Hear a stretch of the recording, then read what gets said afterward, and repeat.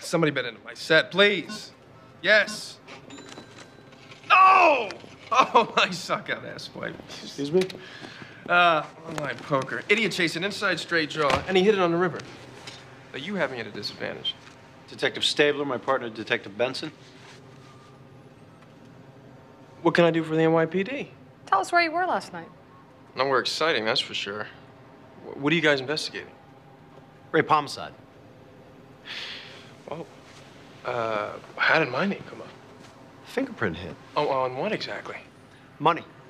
Well, the way I gamble my prints on a lot of dough.